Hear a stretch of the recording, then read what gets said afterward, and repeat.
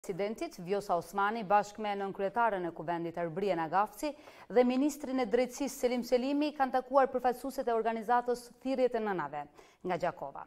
Në takim u diskutua për ligjin për të pagjeturit i cili nga të pranishmit u konsiderua i domosdoshëm.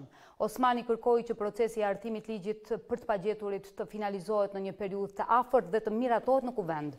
Ajo kërkoi koordinim ndërmjet Kuvendit dhe Qeverisë së Kosovës që në tekstin final të këtij ligji të përfshihen edhe rekomandimet e organizatës Thirrjet e Nënave dhe organizatave të ngjashme që përfaqësojnë familjet e të pagjeturve.